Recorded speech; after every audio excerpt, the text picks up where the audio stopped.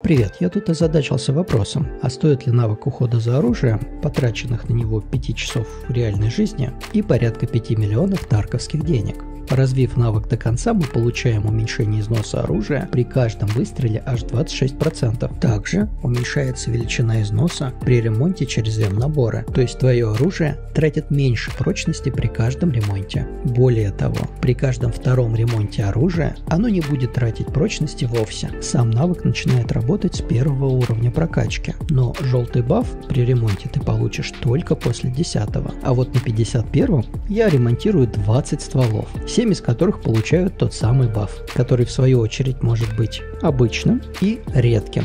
А вот улучшение может уменьшать шанс возникновения неполадки или повышать точность путем уменьшения разброса при стрельбе. Ну а если захочешь больше информации,